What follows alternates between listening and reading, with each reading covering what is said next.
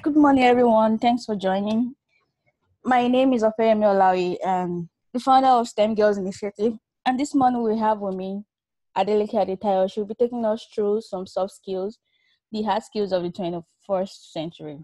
Actually, if I have to tell you the truth, I've been through the slide and I can tell you how loaded it is. I feel like she was actually speaking to me when I was reading through the slide. So you're welcome. Just feel free to like, please feel free to express yourself, like make use of the chat room to ask questions. Any questions you have, please, your opinion, your suggestions, make use of the chat room. And right now, as we're about to start, we would like you, like like I already told you, my name is Opeyemi Olawi. Um, actually, my location is USA, and I'm a data scientist professional. So you two, we also want to know you. Tell us your name, your location, and what you're doing right now in the chat room, and I'll be there monitoring your questions, your opinion, and everything you have to do. And this session is brought to you by STEM Girls Initiative. We mentor STEM girls, female in particular. I'll speak more about that towards the end of the section, but right now I'm going to give it over to Tayo so she can deep dive in. Over to you, Tayo. Oh, sorry, I did Tayo. All right, thank you so much to everyone for taking the time to join this webinar. And thank you to the founder of STEM Girls Initiative. As I said, my name is Tayo, and I'll be taking you through the soft skills, which I believe it's the, one of the hard skills of the 21st century. To get started, um, I would appreciate if we can turn on our videos, please.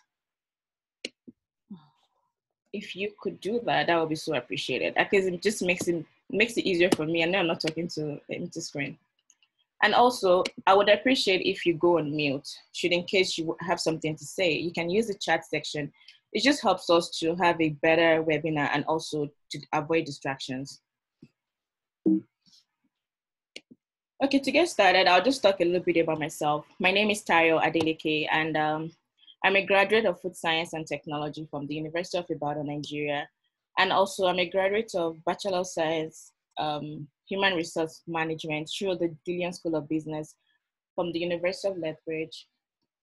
I get this question a lot why HR from technology, which is science, to human resources?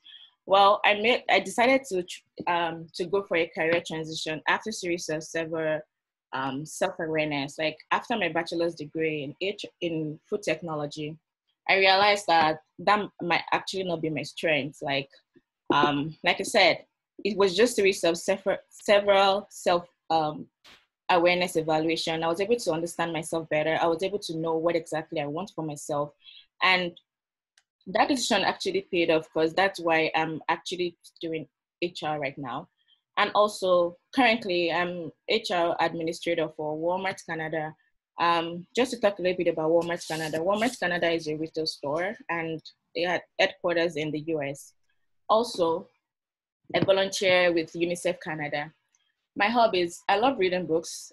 I understand this is a new hobby though, but it's it's my best. It's the best thing that happened to me.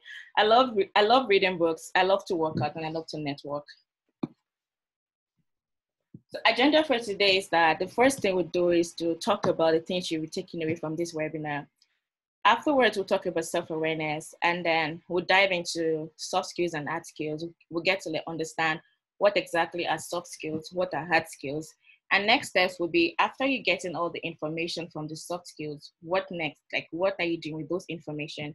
And we'll wrap it up with questions and feedback in the chat section. Okay, so now let's talk about what you're taking away from this webinar.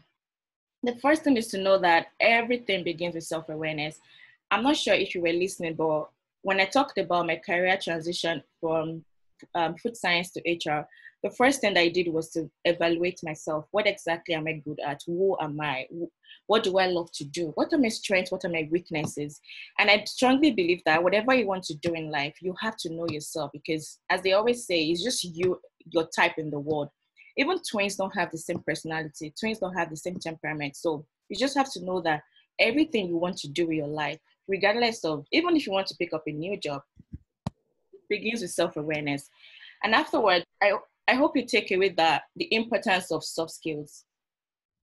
Also, we'll talk, I hope you take away practical soft skill techniques and um, soft skills resources. Now let's get started. Does it sound familiar to be a certified network engineer? I mean, like you're an engineer, you've gone through school to get a to get a bachelor of engineering or whatever. You know your stuff. Like you have a very good GPA. You know how to handle a lot of things, but you have a problem meeting critical deadlines. I mean, like if a project supposed to be due in March, but close to March, you still find yourself trying to um, get some things together. Probably you lack some prioritization skills, or you just lack some skills. Also, does it does it sound familiar to be good on when it comes to bringing clients in? Let's say you work in a field whereby um, you go out there to bring people. You have the, you have the personality to bring people into into um, a field, but when it comes to keeping them, having that good relationship with them, there is a problem. Also, does it sound familiar to during a job interview? I mean, you know everything you want to talk about. You've crammed, you talked, you know a lot about the company already. You know a lot about your job, but all the things you want to say, they're just behind your tongue. You just can't say them out because you don't have the confidence. And also, do you experience difficulty coping with life transitions? I mean, um, majority of people on this call, I assume, you're either done with NYSC or you're almost done with your bachelor's degree or whatever. Like after that, what next? Do, are you experiencing difficulty coping with that kind of those kind of life transitions? And also, do you have the fear of failure? Like, say for example, you end up graduating from whatever degree you're doing and your grades didn't come out nice. What next? Are you are you are you are you afraid of the failure? All these things basically is for you to understand that if you fall into any of these categories or something, it basically means that there is a gap in your soft skills. And I believe that this webinar would actually help you to fill the gap and especially with the resources you'll be taking away. Okay, did you know that 75% of long-term success, I mean, when it comes to long-term success, I mean that job satisfaction, career growth, everything depends on people skills, which are also called soft skills, while 25% de- depends on technical skills. And technical, technical skills basically is whatever you go to school for, like your certificate, whatever you're holding on to. Imagine if 75% of your success and career, I mean, everybody wants to grow in the career, everybody wants to be, I'm the head of this, I'm the manager, I'm whatever. But 75% of that, of the success, depends on people skills and soft skills, and 25% depends on technical skills.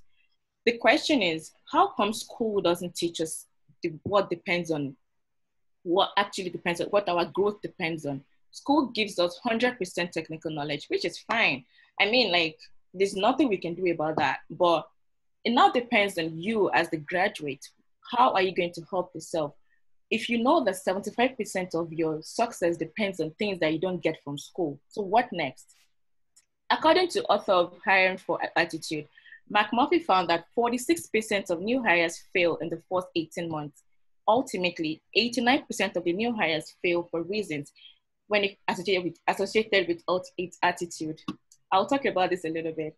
I graduated last year and honestly, I would say my grades were, it might not be the best, like best graduation student, whatever, but I would say at least I'm above average. When I was done with school, I was very, I was very opportune to get a job right away. And reality dawned on me the first day we had a meeting, like, oh, now it's time. There's a round table. Now it's time for me to talk. I was fidgeting. I didn't know what to say. And it's not like my brain is is blank. Like there's nothing upstairs. There is something, but I just didn't have the confidence to talk. I knew for sure that my communication skills is is poor.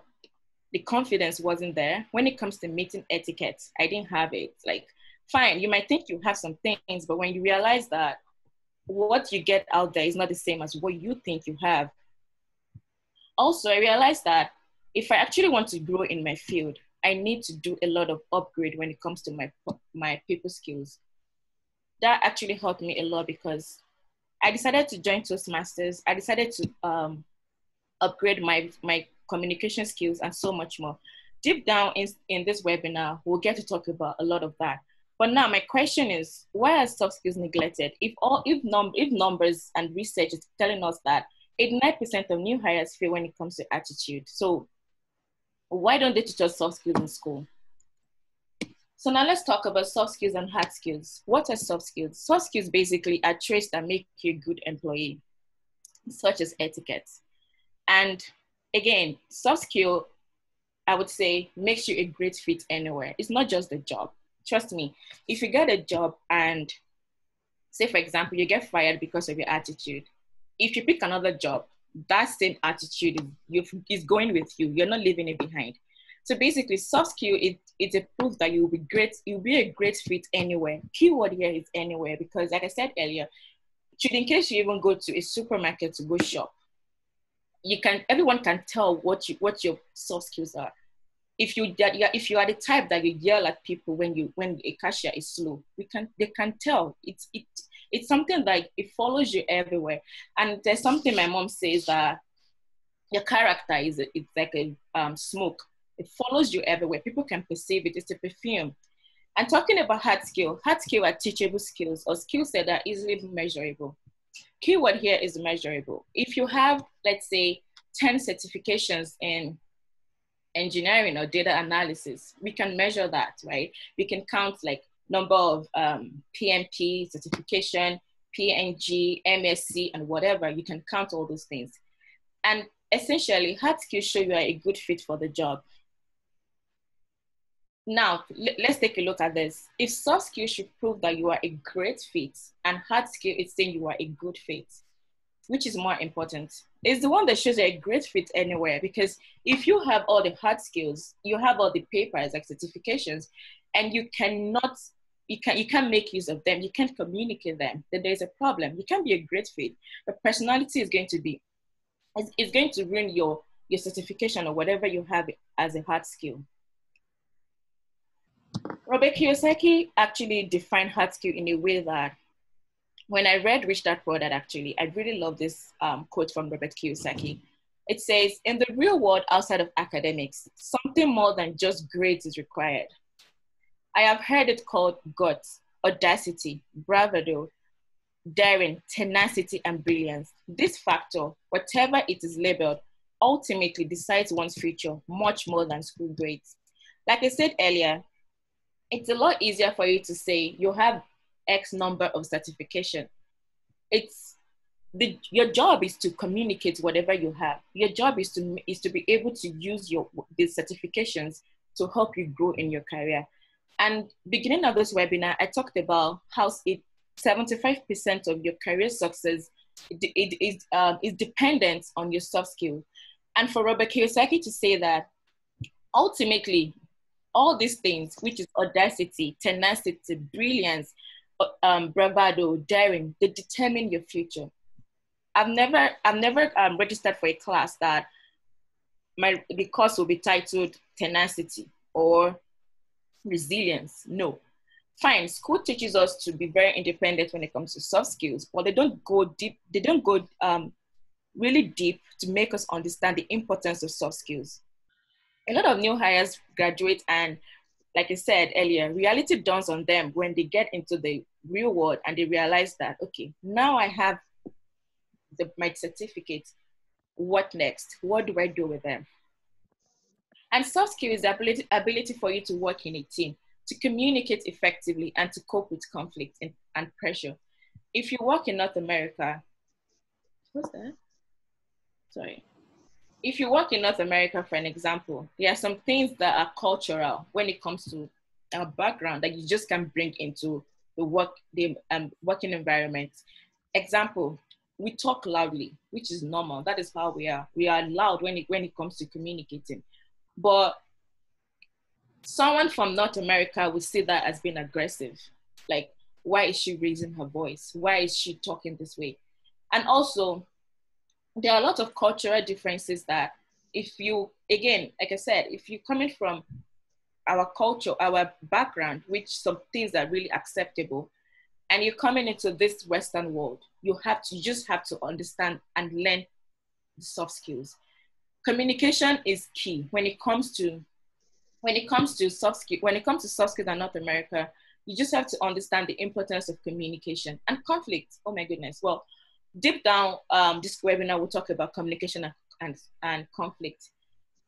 basically, soft skill is a glue between all your technical skills. If you have, um, let's say, you're an engineer, you have, like I said earlier, you have PMP, you have um, PNG, you have MSc, you have whatever, MBA. What glues all skills together is soft skill. So that is why I strongly. Sorry, I can't hear myself. Can we go on mute, please? You're good. Okay, thank you. I strongly believe that 75, 75% of your long term, um, or let me say 75%, 75% of your career success depends on soft skills because soft skill is a glue between all your technical skills. You can have a PhD and you're not great when it comes to soft skills. I'm very firm here and serious. There's no how you can grow with that because if you don't publish your soft skills, the PhD is more like useless. Like I said earlier, I believe everything starts with self-awareness. If you don't know yourself, there's no how you can grow. There's no how you can be true to yourself. Speaking of my example earlier, my um, my personal example of me graduating and after graduating, I got a job and I realized that there's a lot to do. There's a lot of things that I have to learn. I was very true to myself to know that my communication skill is not the greatest. My public speaking skills it wasn't good. Email and phone call etiquette was not at its best, and a lot more.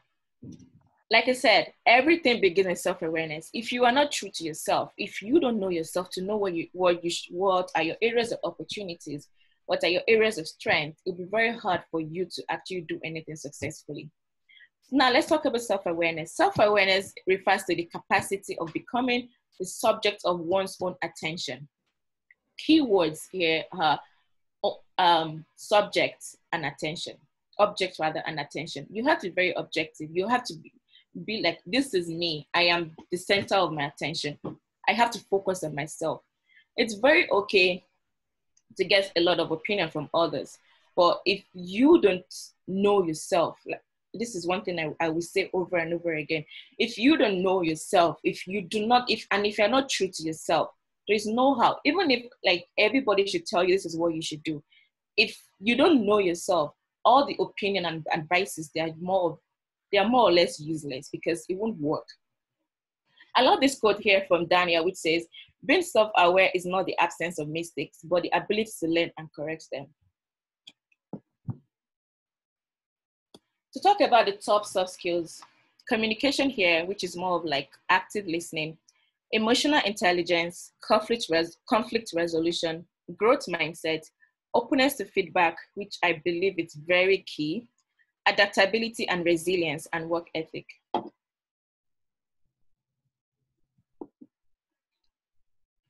Start up with communication.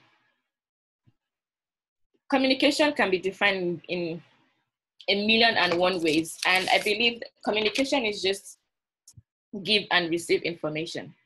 If I want to define to a layman, that is how I would define communication, is to give and to receive information.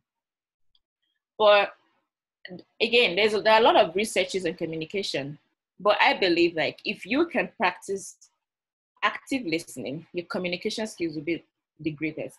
If not, well, yeah, the, the best actually.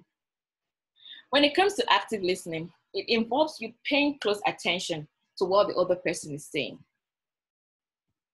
A lot of communication, or let me say, active listening can be cultural because, like, there are so many things I had to change when I came to Canada as well. The way we brought up to communicate is a lot different from the Western world. Well, I will personalize this. I didn't. I did not used to listen. Once somebody's talking, I'm talking back. It's nice to actually actively listen to what the person is saying. Pay close attention to what this person is trying to tell you. Imagine if someone is trying to explain something to you and you're cutting this person off. There's no way the person will be able to talk to you. And like I said, to define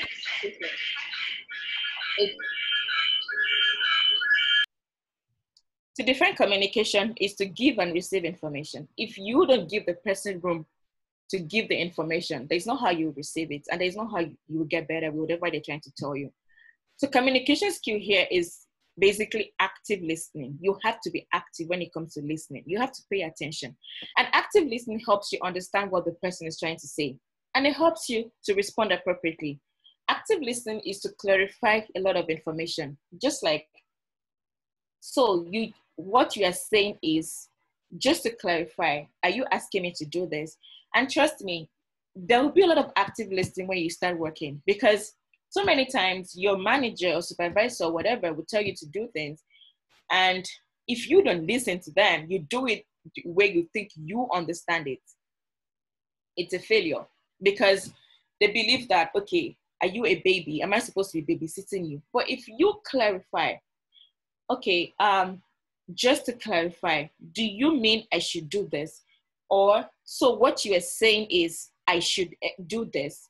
It just helps you to make the person who is the person giving you the information to know that you are actually listening.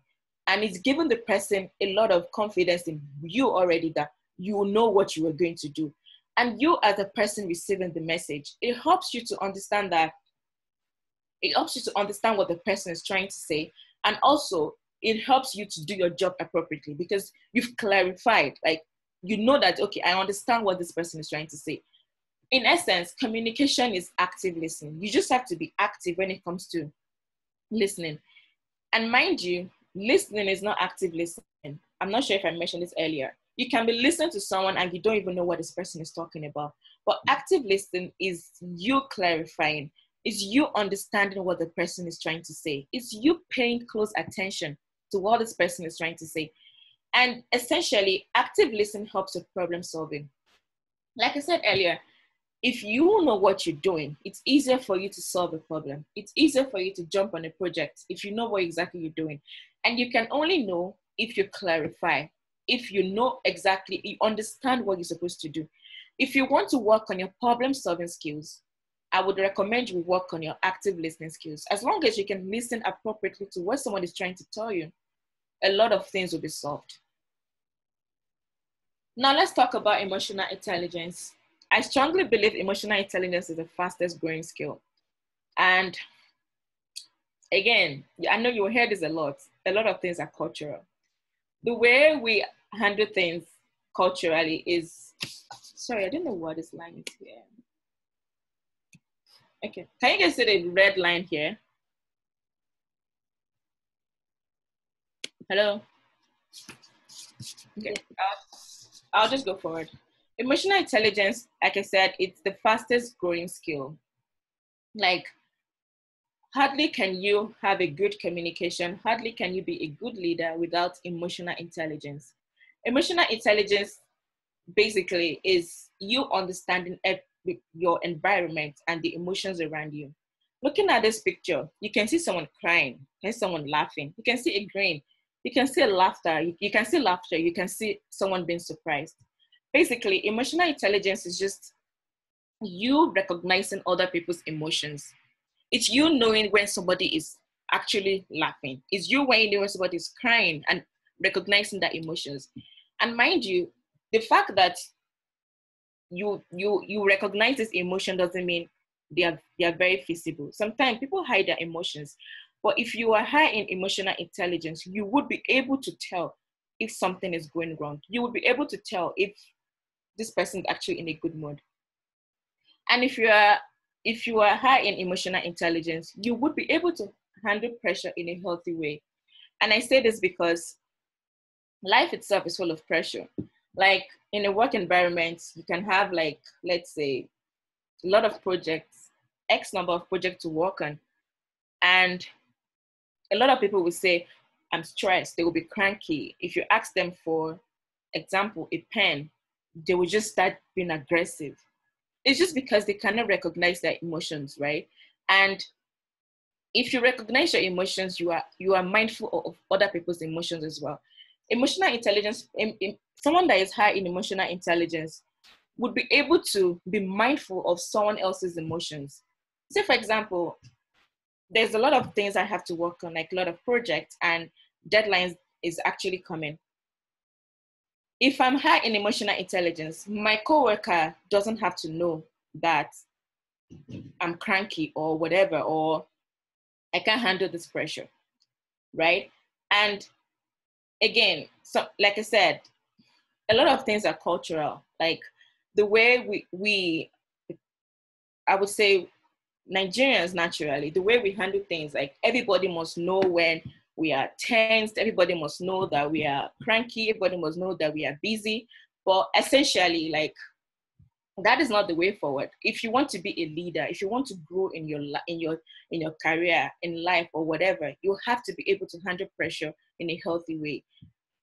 And also, if you will be able to understand and cooperate with others. OMG, it's very hard to work with people. I'm not going to lie. It is not easy. Like, because you're working with someone, they have different personalities, they have different temperament, they are they are not you. What is working with you might not work with them. It's so hard to deal with people. I have no doubt about that. But if you're high in emotional intelligence, you will be able to understand individual differences.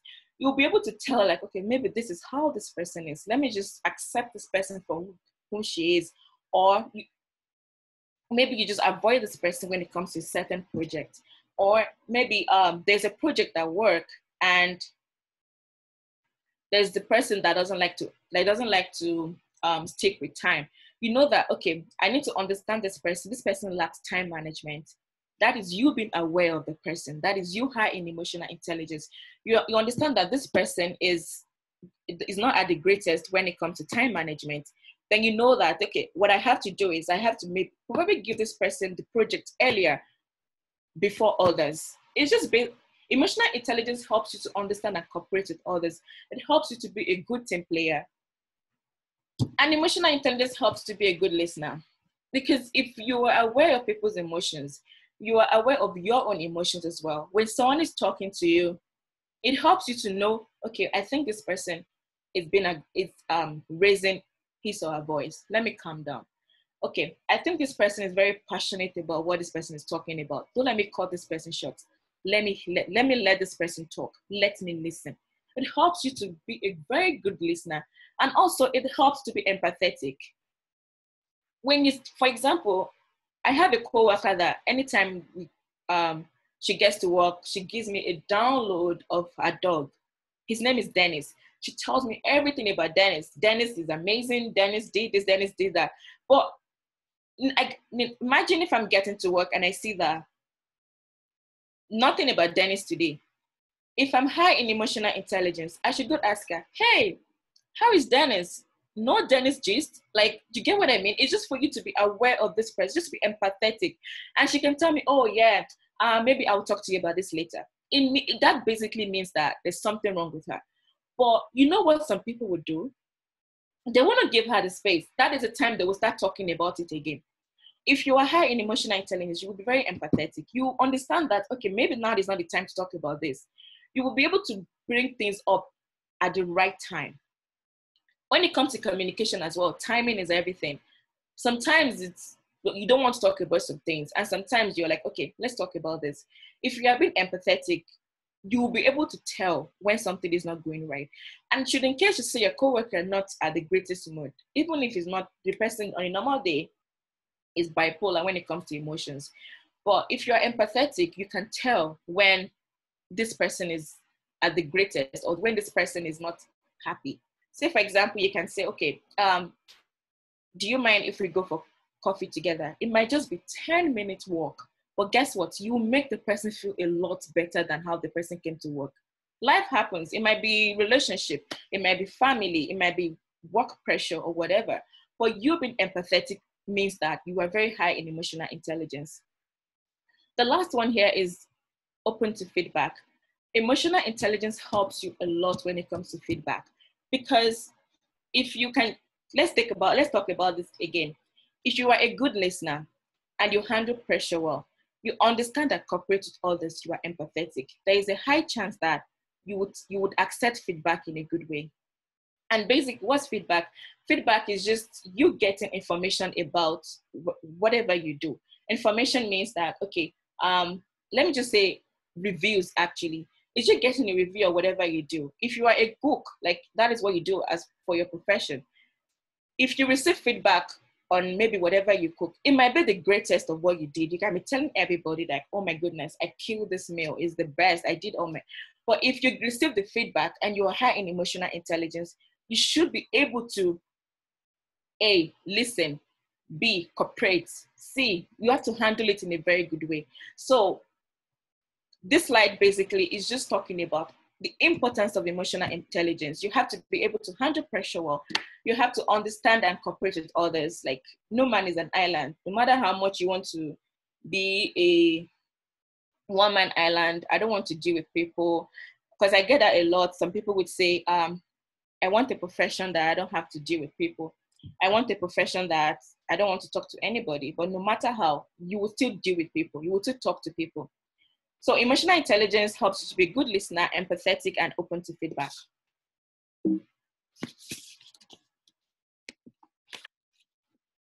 Sorry, I'm just gonna go feedback. Okay, speaking of feedback, feedback is a two-way. Feedback is, I would say, is a sister to communication skills. As communication skills is something that is not everybody that has it like at the best. Same thing with feedback a lot of people don't know how to give feedback. At the same time, a lot of people don't know how to receive feedback. And it's okay if that is how it is. Like, as long as you are, as long as you are self-aware and you want to do something about it, everybody, I mean, everybody can change when it comes to things like giving feedbacks. Um, if you are the feedback giver, like you are the one giving the review, please, please, and please use the sandwich style, which is positive, negative, and positive. Like I said earlier, a lot of things are cultural. The way I grew up is when they give you feedback, they just all the negative, and that kills your self-esteem. It kills it kills you in inside. It kills the person inside of you. But imagine you starting with the positive. Let the person know what the person did right first. Then first, it changes the game like, even when it comes to kids, they tell you when you want to train your kids, let them know what they did right first before you can tell them what they need to do better. I know a lot of people say, okay, this is how you do the, the Western world kids or whatever, but it just changes the game. It changes everything. Starts with the positive. Say, for example, um, you asked me to make a um, to sell this phone, for example. You gave me two weeks to sell this phone, and within two weeks, I'm still unable to sell this phone. If you want to give me feedback, you should start by saying, I understand you'll be putting in some work into this. Good job with that. Even though you know the person is not putting in the work, start with the positive. Start by saying something nice that, that can build the person up. Then go to the negative by saying, if you put in more work into this, let's say you devote two hours a day to sell this phone there's a good chance that you will be able to sell this phone.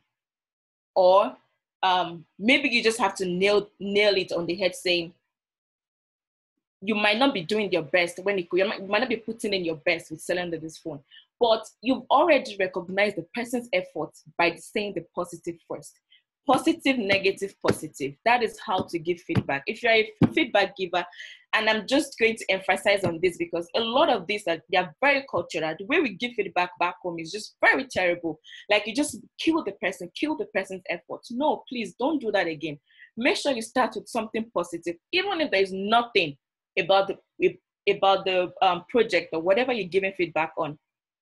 Make sure it's maybe you um, compliment them at first. Tell them they look good. It doesn't have to be on the project. If you don't have anything nice to say about the work, tell them they look good. And you cannot say, oh, just to give you feedback regarding this, I believe you should do this. And close with a positive. Closing with a positive helps the person to feel better after the negative. And I say this because if you tell somebody, some, for example, let's go back to the cooking. This person put in several hours to cook and you just come say oh this food is very salty why did you cook this way it's just very bad in the sense that one you do not even recognize the number of hours this person put in to put everything together b fine the food is salty but do you know how bad that person will feel just say um I understand you put a lot of hours into this. The food is salty, and you just leave. But if you close it with the feedback by saying, well, the rice that was actually a lot better, thank you. The person is, honestly, this person you're telling this doesn't mean that because you said the rice was better and the person will ignore the salty food. No. It just makes the person a lot better. Like, okay, at least I did something right. So at least no matter how messy this food is, the rice came out better. And that helps the person's confidence. It helps the person's self-esteem. So please, if you are a feedback giver, practice and put in the sandwich style, which is positive, negative, and positive. Moving forward, if you are given a feedback, you need to describe a concrete situation or example. You don't just say the food is salty, or you don't just say you are not selling the phone. Describe with the situation or give an example. Also, explain the effect on you. Now, let's talk about now because this has to do with you working with someone. Say, for example, you have a roommate and um, your roommate likes to turn on the lights on when he or she is going to bed. And that is a very, for you, you love when your room is dark. It has a negative effect on you. Explain. Let the person know that, okay, I understand that you love to have the light on, which is good because you have your reasons. But having the light on has a negative effect on me. It interrupts my sleep. At this point, you should pause to listen for unclarities. You should pause to listen if the person has something to say. And if there's nothing, then give concrete suggestion for change. Say, for example, I would recommend if you buy a bedside lamp, if you want the lights on. That's a, that's a concrete suggestion. You're just giving a suggestion. And on the other side, if you are the feedback receiver, when the person is talking, and honestly, we are all work in progress. Trust me. Like this is this goes to me, me as well. When the person is talking, you should listen and not interrupt. I know the way our brain just flips when somebody is trying to tell you something or we, most of us don't like feedback, which is normal. We are humans. We just don't like it when someone says we're doing something that is not right. But when you are when someone is giving you the feedback, if you want to grow, you should listen. Do not interrupt. Let the person talk. Let the hear the person out.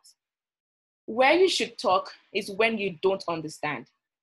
And that should be after the person probably you or you see the person pausing. And also it depends on the conversation. If it's getting heating up, you should not even just let it go. Just just let the person finish talking. Then you can clarify if you don't understand. And if you are following this webinar, clarity means active listening. You are trying to clarify what the person is saying. Going back to the light and bedside lamp example, you should clarify by saying, so what you're saying is that um, you don't want the lights on at all, like 100%. So that way you're clarifying to know what exactly the issue is. And after clarifying, under normal circumstance, if you want to grow your feedback and communication skills, you should thank the person for recognizing this point of view. Okay, thank you for letting me know that this light I put on is affecting you. A lot of people would just strike up a conflict from that, and which is normal. Like I'm sure I've, I'm, I'm sure I've done this in the past, and I'm sure I've even done this like of recent. Trust me. But like I said, we are all work in progress. You should thank the other person and recognize their point of view. Thank you for letting me know this. And you cannot decide how the feedback applies to you. Decision means that, okay, this person has given you the concrete suggestion for change. It's not left for you to decide how that feedback will apply to your life. Okay, do I have to um, try to cope with this person? Do I go get a bedside lamp, for example? It just helps you to decide on what to do. But imagine if this person is giving the feedback and you would not let the person listen. You wouldn't let the person know the effects of this thing, of how, for example, the lights on, you don't know how, you, you wouldn't let this person talk. One, it leads to a conflict. Two, your listening skills is not, it's just going to be going down the line because you're not helping yourself to be a good listener. And C, it doesn't help the situation. As a matter of fact, like you just you, you get just wasting your time because at the end of the day, you get nothing tangible will be gotten from this from the conversation. Moving forward, let's talk about conflict resolution. Conflict happens honestly like it's just something we can avoid. As long as you you working with someone as long as you're living with someone as long as you are not alone in anything you're not in, you're not on an island or whatever conflict will happen. So now it's left for you to know how to deal with the conflict. The first thing which i would say the most common one is the avoiding.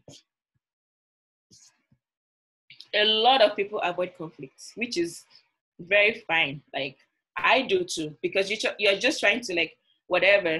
I'm just gonna let it go.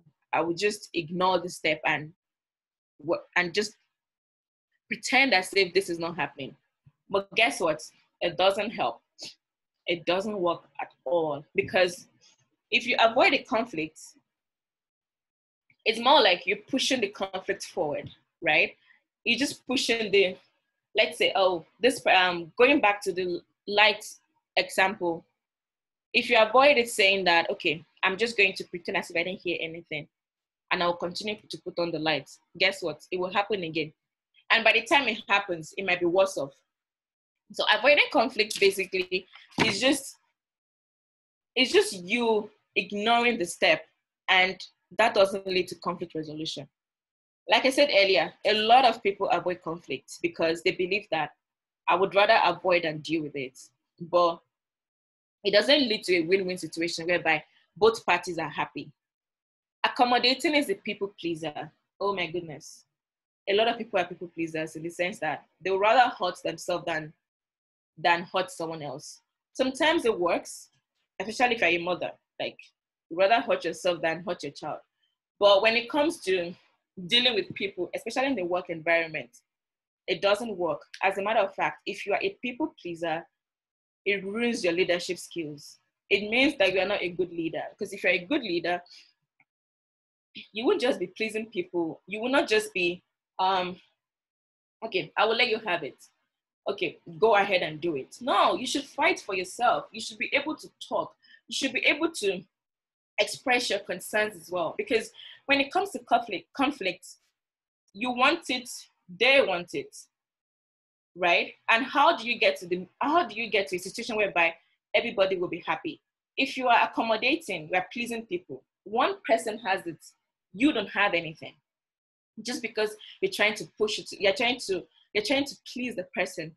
And I would over over overemphasize this. If you want to grow your leadership skills, you cannot be pleasing people every time. No.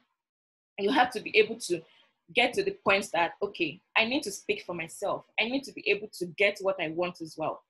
And compromising, compromising is just partly solving this is a conflict in the sense that one party um, is happy and the other one is not really happy.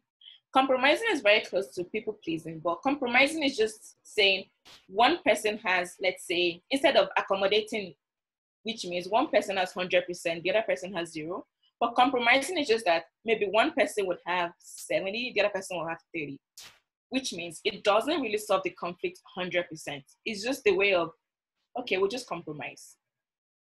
I see com- compromising a little eh, very close to avoiding in the sense that a lot of people compromise just because they're trying to avoid the conflict.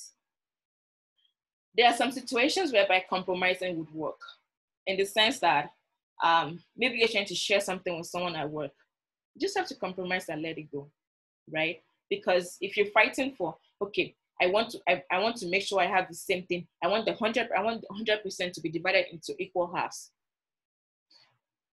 You might just be a fighter. Then you just start you like, oh, the black girl that loves to fight. Sometimes you just have to compromise and let it go.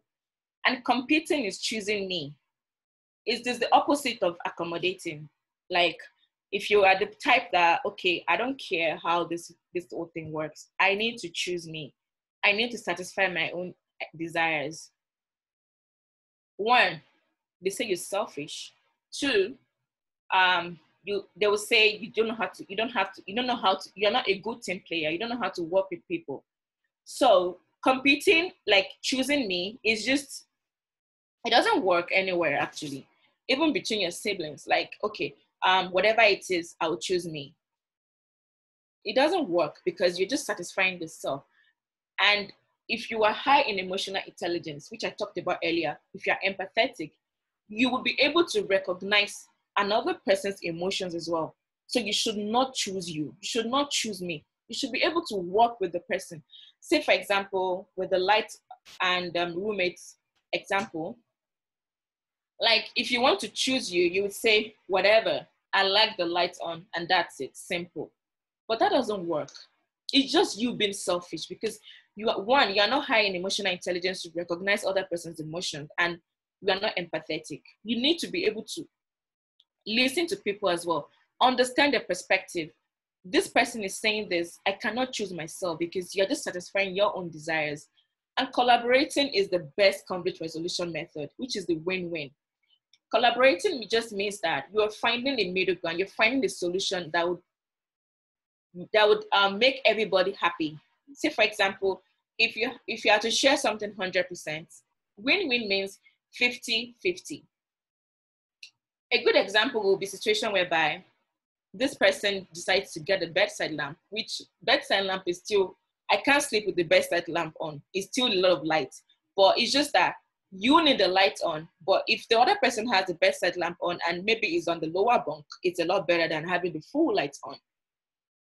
Another example of win-win would be maybe you're trying to share something with someone and you pick your strength, the person picks his or strengths, and you just sharing things based on strength and weaknesses. Two strengths, two weaknesses, whatever, right? So it's just you finding a way of satisfying both sides. To be honest with you, like let's be practical here win-win doesn't happen all the time. It's as a matter of fact, it's very rare because most people would just say, okay, I will just compromise. I will just let it go or I will just avoid it. Most times you only get win-win maybe when you go buy a car or whatever, or you, have, you buy a land whereby they give you something, you give them something, right? They get your money, you get the new car. And maybe they can just give you incentive like um, winter tires or oil change or whatever. That is only when you buy things that you actually get that you might get a win-win. When it comes to actual human conflicts, like, there's nothing you're buying. It's to be honest with you, it's very hard. But the essence of this slide is that the best way to deal with conflicts is to aim for the win-win which is satisfying both sides. And you can only satisfy both sides if you act, if you're a good listener, if you understand the concept of um, giving and receiving feedback. And also, if you are high in emotional intelligence, which means you are able to recognize each other's emotions. The person and the person giving you the feedback of the light might not say it in a nice way, which is fine. But you can control yourself by controlling your emotions, right? If you are high in emotional intelligence and the person giving the feedback to you is not high in emotional intelligence, that is not your problem to deal with. You can only deal with your own part. Your own part means that try to try to listen, try to understand what this person is trying to say, and try to aim at win-win, which is the collaborating conflict resolution. Conflict is very is it's it's very deep, like it and it's very unavoidable. There's not how you want to do it that you that you avoid conflict. You you work with people in school, when you're working, neighbors, even when you go to grocery shopping, a lot of times. But if you have at the back of your mind that one, you're not pleasing people all the time. You're not avoiding. We are not competing. You're not choosing me. And compromise is partly it doesn't it doesn't um, resolve conflict 100%, but collaborating, which is the win-win, resolves conflict 100%. Now let's talk about growth and goal. Like I said earlier, when I graduated, I told myself that um, I need to do a lot of things. Like I need to grow when it comes to people skills, when it comes to um, communication and, and all those kind of soft skills. I decided to have a growth, personal growth plan. What did I do right? What I did was beginning of the year, I divided my year in quarters like um, Q1, Q2, Q3, Q4. Q1, what do I want to achieve? Q2, what do I want to do? Q3, what exactly do I need to be done? And um, Q4, end of the year, what have I accomplished? It's very important to have a personal growth plan. You can't just accept life as it comes. like, oh, you jumped at something, I will do it. Some life happens or whatever, or how we say it, oh, life happens. You need a personal growth plan. You need to have a plan on your growth. And you having a plan on your growth leads to your career plan as well. Say, for example, you are in um, data analysis or engineering or whatever. You should know that by Q1, I need to have grown when it comes to um, project management skills. Q2, I should have my PMP certification. Q3, I should have my, um, maybe I should, I should write my GRE for my MBA. You should have a personal growth plan. It really helps your life to be structured. And also it helps your life to be focused. Because you have a plan, you have a growth plan already, when opportunities come, it really helps you to fix the plan into you, fix the opportunities into your plan before I jumped on John Maxwell's audio, actually, John Maxwell, one of my favorite person in the world. I love him a lot.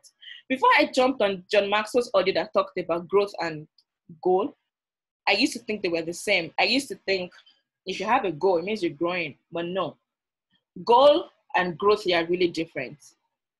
Goal means that my goal is to run five kilometer every Saturday for three months. And there's something in business school called SMART goals. It means you're specific, your goal is measurable, you're attainable, S-M-A-R. R is like you realistic, T is that is the time bound. That is a goal.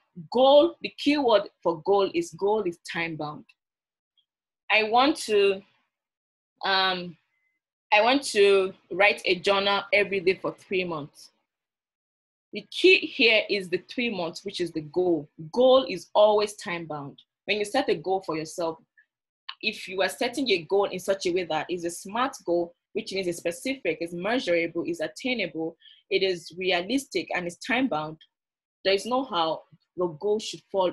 There's, your goal should always fall within a time time period. Which means when you reach that goal, this is very normal. Like even like no matter how much you want to say i'm good when it comes to this you would plateau. Like you would just stay there or you just find yourself coming down. If your goal is to read let's say your goal is to read a book for let's say um 10 pages a day for three months. Three months is a time bound it is a goal by the time you get to that three months if you stay there you will plateau meaning that you will just stay there. And if you don't do anything, you will just fall. No matter how you want to do, you plateau. On the flip side, growth is continuous. After reading one book, you continue reading the book. What I tell myself is, as long as I'm living, I want to keep growing. That's just it. If I tell myself I want, it's good to set goals. Like we all have goals. Like honestly, you can't even do without goals. But setting a goal and continuing the goal is growth. Setting a goal to read one book a day, sorry, one 10 pages a day for three months, and after three months, don't stop. Pick another book and continue. Keyword for growth is continuous. You just have to continue growing. And I put 24 hour rule here because should in case, let's say you achieve a goal, which is something great. Like we all want to achieve our goals. Rejoice, celebrate, like be happy. But after 24 hours, please reset and go back to the growth process, which is continuous. That's why I put the 24 hour rule here. I understand, like, oh, yes, you want to celebrate. Your goal is to, let's say, your goal is to graduate with a first class. And because I said goal is time bound, the time bound here is when school is over. That is the first class. Continuous growth is, in no matter, I understand it's very hard to make a first class, but after 24 hours, please reset. What next? That helps you not to be stagnant. That helps not to be complacent. What next? Okay, now that I have my first class, let me work towards my master's. Let me work towards some certifications. That is growth, is continuous. You just have to keep growing and goal is destination focused, meaning um, first class is a destination. my bachelor of engineering i want to make sure i get a first class that is destination focus but growth is journey which means it never ends you just have to keep going like if you get a first class you want to um, you want to get a master's degree you want a scholarship you want to write your gre you want to write whatever. It is the journey it doesn't stop. As long as you live in please keep growing. I know a lot of we all of us will say i cannot come and kill myself. Um, we only live once or whatever. Trust me those things you, before you know it you'll be stagnant. Before you know it those people that you think they made a whatever maybe a second class lower or upper you if those ones that keep growing and you that you said oh i made a first class. Ah this is what i've come to realize. I cannot come and kill myself. I've done my best. I've um you only live once. Is life a war or whatever? Those ones that you think they are just there if they keep on growing trust me they will beat you. They will meet you and, and even go further than you are that you've gone. So trust me have the 24 hour rule of celebrating. Be happy rejoice. You've done a good good job give yourself a gift. But after 24 hours please get back to what to the to the growth plan. What next after this? And go motivate people. Oh yeah. Once you achieve once you achieve a goal it motivates you to get on other goals. But growth mature you. It makes you to be mature because it changes your mindset. Like oh wow i did this. If you are growth focused you will be able to know that this is a changed life this is a changed mindset i'm growing i'm very mature trust me i'm not going to lie to you the first time i read a book when i say read a book from start to finish. It was like I won Grammys. Like I was so excited. I was like, wow, I did this. Like me. On a normal day, I just buy books, put them in my bookshelf, sometimes take a picture of a page and put on Instagram. And people would think you're reading books. That is how I used to read my books. And sometimes I just read like a page or read this, go on Google and read the summary, and that's how, oh, I've read the book. But the very first time I read the book but the very first time I read the book and I stayed from start to finish, I was so excited. Sorry, I'm just gonna go back here. oh, I can't find my screen. Sorry, just give me two seconds.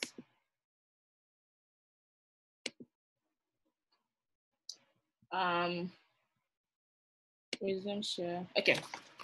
Can you guys see my screen?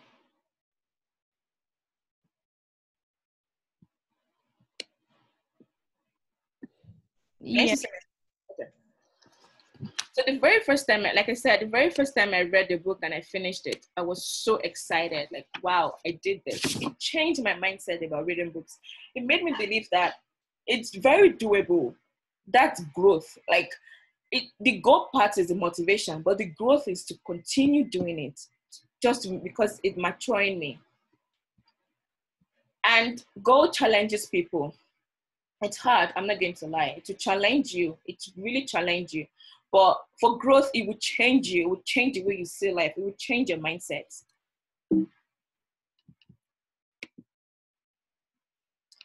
And adaptability and resilience.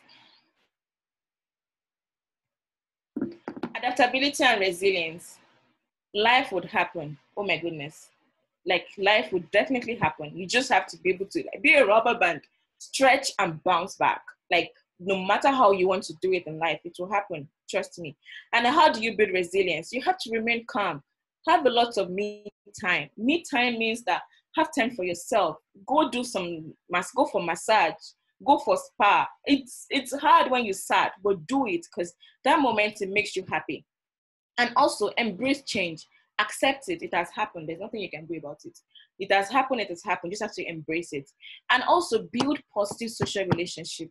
Example of this is LinkedIn. LinkedIn really helped me when doing my lowest low. Like, oh my goodness, it really helped me a lot. Because I'm able to know that, okay, I'm not alone. There are people around me, building relationship, building friendship or whatever. But one thing you cannot avoid in life is, is failure, trust me. And failure doesn't mean that um, um the way some people say failure is uh, failure is when you don't pass your JAMB or whatever. It's failure, yeah, but something might be failure to some people. Say, for example, if you if you don't meet the deadline, it might be a, it is a failure. Like you failed when it comes to that. But you just have to be able to bounce back. You have to be able to be calm, accept change, and build positive relationship. Work ethic. Okay, this is very key. Like, it's very very key. And Tyler Perry defined work ethic as developing good work ethic is key. Apply yourself at whatever you do, whether you are a janitor or taking your first summer job, because your work ethic will be reflected in everything you do in life. A lot of people would, I see them working in retail and they say, Oh, I don't care, it's just a job. But trust me, the work ethic you get from that job, it follows you everywhere. If you are the type that comes to work late because you're working for Walmart, for example, if you get a job at um, IBM, whatever, and that work ethic will follow you. You might be nice, you might be, uh, you might adjust for a week, but it will definitely follow you. And work ethic, excellence. Excellence, being busy is not doesn't mean that you you would not do a mediocre job. Like it doesn't mean you will not do average job.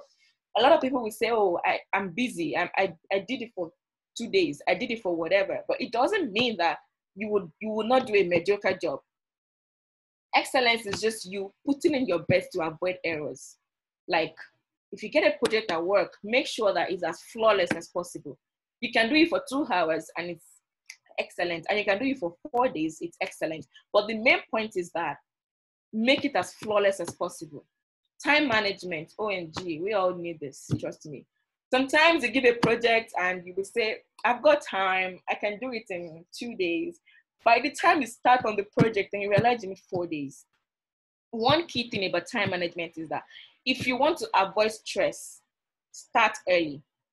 Even if it's simple, it's something you can do from your sleep, but just start it.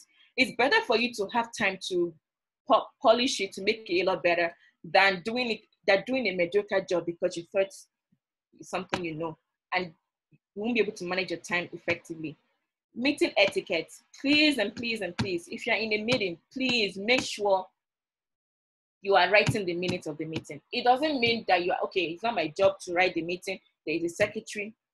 Jot something down. Make sure you have something jotted down. Make sure you are, you are taking the minutes of the meeting as well. Because it's easier for you to be in a meeting and say, oh, I remember everything they said. Oh, of course, I know what they talked about. But you never know when you would actually need the time to go back to the to the minutes and say, okay, um, I think I, I, I think I need to go back to the to this meeting to see what I wrote down. And if you are the one hosting a meeting, your meeting should have an agenda, please. Like you cannot be waving. Um, let's start with this. No, okay, let's go back to um effect of this thing. Oh, let's go back to the time. Please have an agenda. It just makes you to be as organized as possible. Flow chart and process chart. I understand most people on this call are engineers or into science or whatever make sure you have a flow chart of your of everything you want to do even if it is just to um as if i don't know what simple would be but no matter how simple it is there should be a flow chart it just helps you to avoid mistakes it helps you to deliver an excellent job because if you follow a process there's a chance that you will not do a mediocre job there's a chance that your your overall work will be excellent and emails and phone etiquette omg i'm just going to have like a little bit of focus on this. If you're writing an email, please and please and please, there should be a subject. You know why? If the person is trying to search for you, it is a subject they will search for most times. So please, your email should have a subject and your email should be straight to the point. When I say straight to the point, if you're trying to email someone regarding the job, don't say, I am this. When it comes to working, I work really hard. When it comes to um, this. I'm very good at this. Straight to the point. Hi, my name is Tayo. I am interested in this. When it comes to some skills, the skills I have at this, keep it as straight to the point as possible. Very focused and be clear. Also be polite. No matter how frustrated you are, please be polite to your emails. Don't write emails like um even even if you are the word president or whatever be polite show that you are at least you at least you have high emotional intelligence. Be aware of the person's emotion that is within the email. And if you don't get a response, please follow up within 48 hours. Doesn't mean you follow up. The person didn't reply you like in six hours. You send another email. Please don't do that.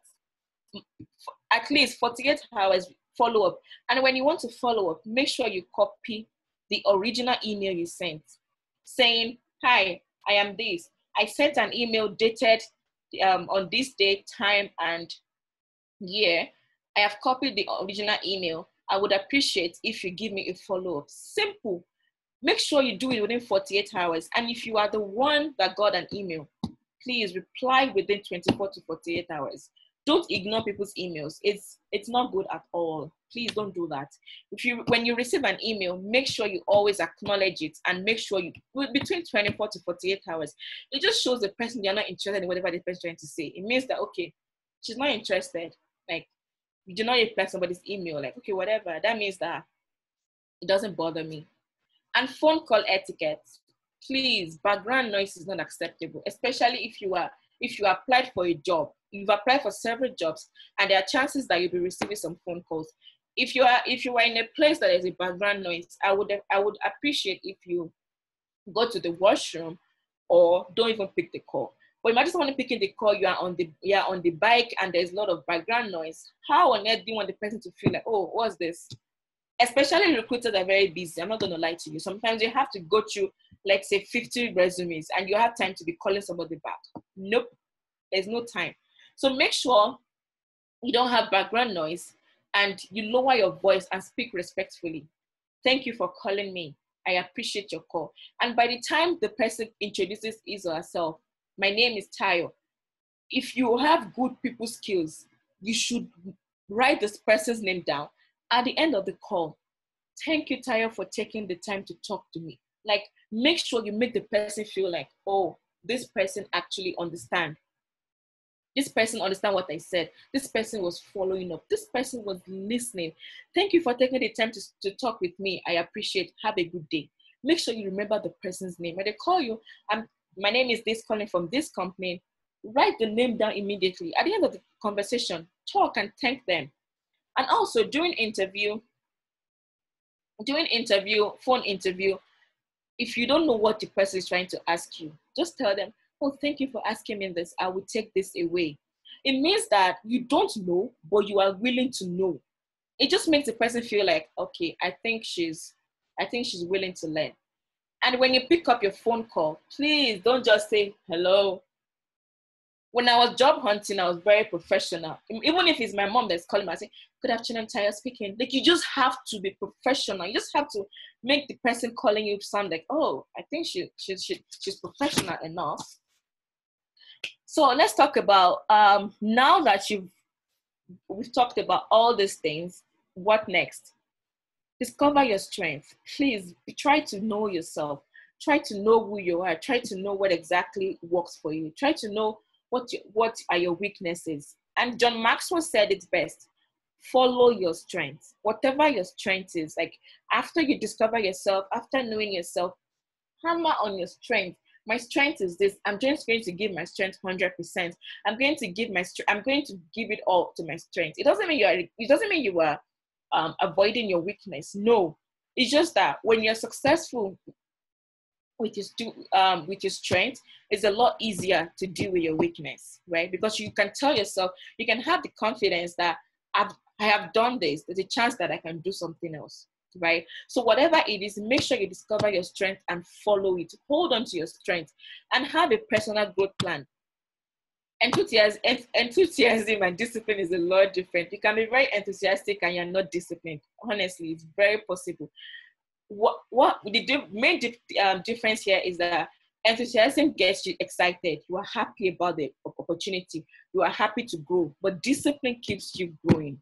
Discipline is the growth like it keeps you growing. If you are not disciplined enough to, you can set up a goal with enthusiasm. Like I'm very excited about this, but discipline will make you grow at the goal because you are going to tell yourself, no matter what, no matter how crappy the day is, I will read for 15 minutes. No matter how crappy the day is, I will make sure I do. I, I um I do whatever goal I want to to do. Right. So just make sure you are disciplined. It's the different thing to be enthusiastic. Honestly, it's very different when you're so excited about something and enthusiasm doesn't get the job done. It doesn't. Discipline gets the job done. 2190 rule. Oh my goodness, this rule helped me to build a lot of things. Like reading books, it takes 21 days for you to be for you to be used to a habit and it takes 90 days for it to become a lifestyle. Whatever you want to do just look at the calendar. 21 days i need to do this and i need to do it every day. Trust me believe you me you will be able to do it for 90 days. If you can do it for 21 days non-stop tell yourself okay 21 days i'll read a book every day. It might be half a page. It might be one line. Just tell yourself 21 days i will read a book before you know it 90 days is already a lifestyle. And then, and this is the, the effect of compound effect if you will drop a tiny um, drop of water every day for 90 days no matter how time you will get so you you will be able to see something that you've done. So please it's hard for you to start a new life. It is very hard to start a new habit but just remember 21 90 21 days to build a habit 21 days i'll do this before you know it 90 days after 90 days it becomes a lifestyle and deliberate practice please podcast read books soft skill courses there are a lot of them on linkedin learning if you don't have LinkedIn Learning, there are YouTube. John Maxwell has a YouTube channel you can subscribe to. It's very useful. There are lots of courses, there are a lot of resources to help you grow your soft skills. What helped me most is reading books and podcasts. Like I told myself I would read a lot of books. The first book I read, like I, like I said, it was a struggle, but I did it. Afterwards, it's so easier for me to keep reading books. Choose your learning style. Some people, some people like to do things in the morning when they wake up that doesn't work for me. I love to do things at night. Some people love to do things at night. Make sure you choose your learning style. Know what works best for you, and be be growth conscious. Your mindset has to change. Even if you have a PhD, even if you have you're a professor emeritus, when opportunity comes your way, listen to decide if it's not your if it's not your um your calling or not. Please and please and please Coach Wooden says something. I think I wrote that post down somewhere. It says, It is what you learn after you know that counts. That's from Coach Wooden, John Wooden. It is whatever you learn that after you know it all that counts. I know we like to say, Oh, I know what she's talking about. I know what he's going to say. I know, I know, I know. Yes, but what if you do not know? Listen, change your mindset. Always welcome change.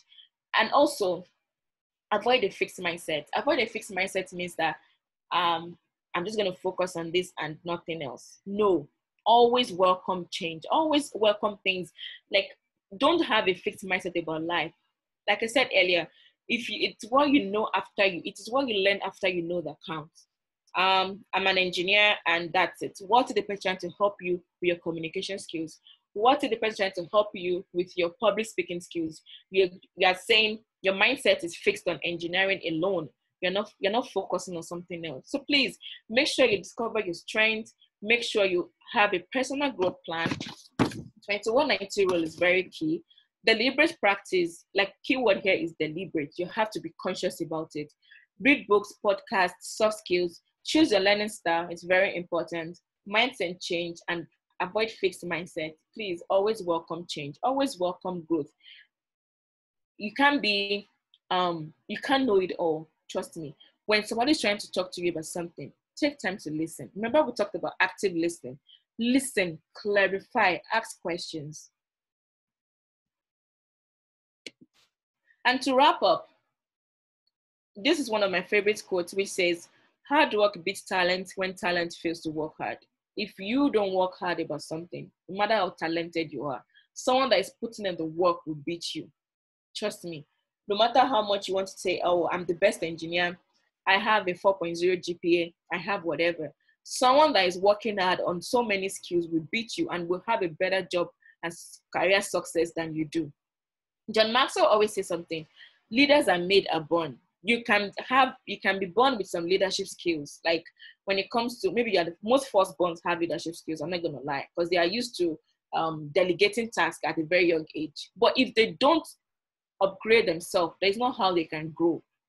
And stagnation makes you plateau.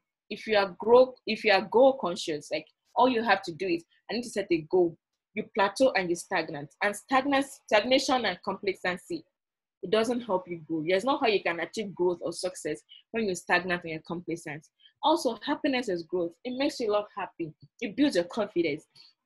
Excuse me. Knowing that this is me, I'm growing. I like the woman I'm becoming.